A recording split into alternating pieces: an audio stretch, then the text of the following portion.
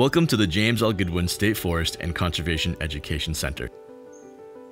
Here you can explore over 2,000 acres of beautiful and diverse forest land with more than 17 miles of trails for hiking, cross-country skiing, and horseback riding.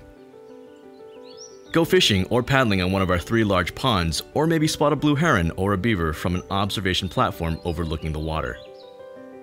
Be sure to visit our nature museum and learn more about Connecticut's native wildlife and trees before you head out on the trails. In the Conservation Center, you'll find photos and videos that tell the forest's unique history. James L. Goodwin, one of Connecticut's first professional foresters, purchased this property in 1913, built this house, and named the place Pine Acres Farm.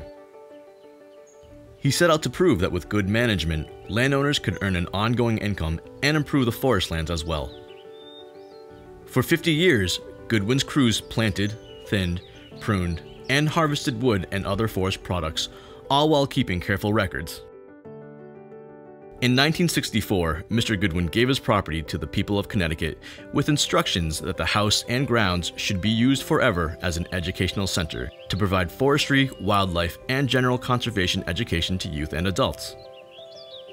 In keeping with his wishes, the Conservation Center's calendar is filled with year-round programs for people of all ages.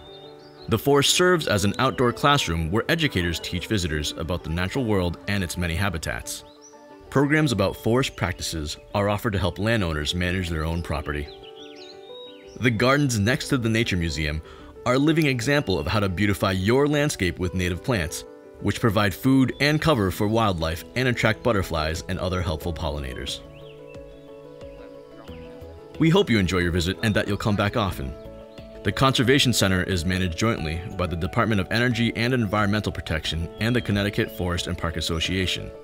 The Friends of Goodwin Forest, a volunteer based organization, helps support its activities. To learn more about our educational programs, please visit friendsofgoodwinforest.org.